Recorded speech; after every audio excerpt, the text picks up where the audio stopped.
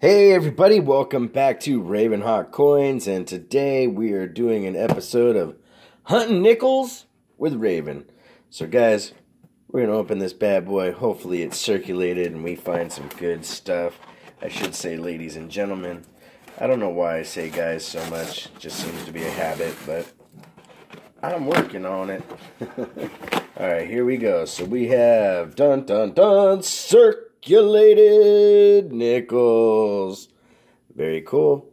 So we're going to get these bad boys out, and if there are any obvious enders like buffaloes or war nickels or what have you, we'll open them live on film, and if not, we'll be right back. Ravenhawk Coins, stay tuned. Alright, so we are back with our nickel mids. Yes, the world famous nickel mids. And hunting nickels with Raven. No obvious enders, but you never know. You just might find something good. Ravenhawk Coins, stay tuned. Okay, ladies and gentlemen, so we have gotten through the first of the nickel mids, and guys and girls, the 2009 streak is still alive. Look at that. Beautiful. Cannot believe it, guys. That was in the very last roll of the nickel mid. I was really shocked to find it. So this one is a 1953. It's a Philly. And last but not least, a 1952 Philly. So, not too bad. The 50s do have a lot of what would be considered semi key dates, and especially you're looking for that 1950 Denver because that is the best key date in Jefferson Nickels. Guys, we got four more of these to go through. We'll see what we find. Ravenhawk Coins, stay tuned. All right, so we got through the second of the nickel mids and we have some finds. The first one is a 1946 and it is a Philly, followed by a second 46. And what really surprised me in this go around, guys, is things came in pairs. Uh, let's see here. I think that has a, yep, it has a D mint mark. So a 46 Philly and a 46D. Then we have a 19, two 1941s, guys. This one's a Philly.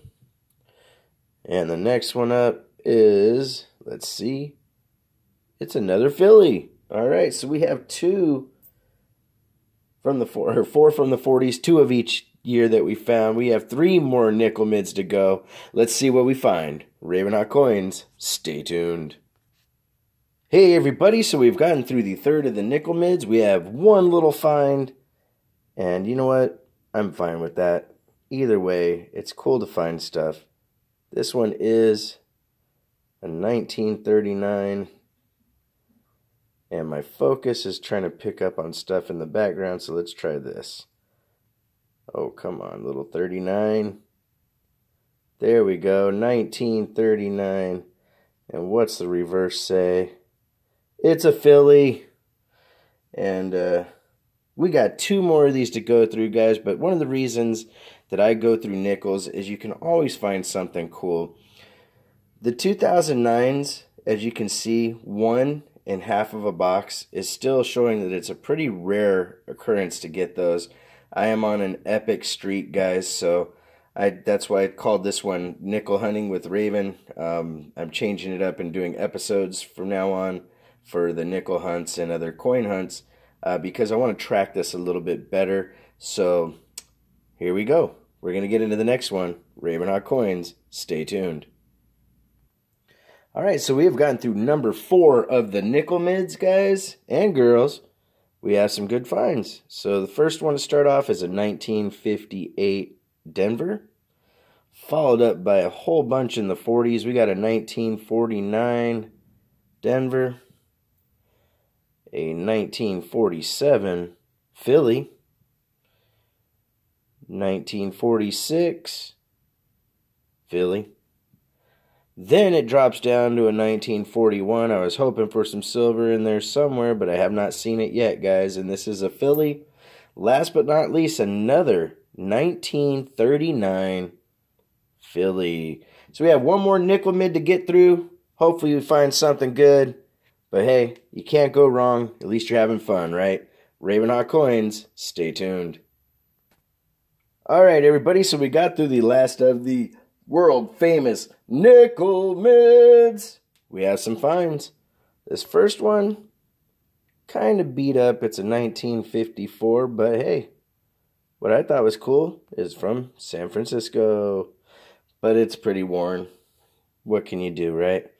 The next one is a 1958 San Francisco, which kind of surprised me. We got multiple Friscos in the box. A 47 Denver.